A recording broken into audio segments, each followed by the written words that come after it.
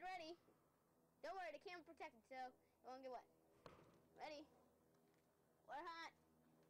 You may be able to see it,